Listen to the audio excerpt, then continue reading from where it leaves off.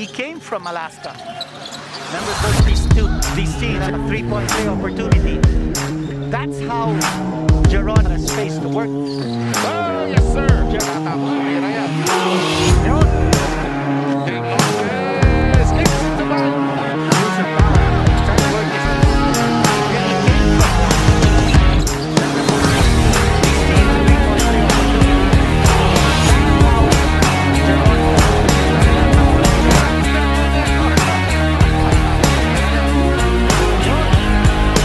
Big John. After all this position for Greg Slaughter. Now, if it were only get the second chance opportunity, That's short.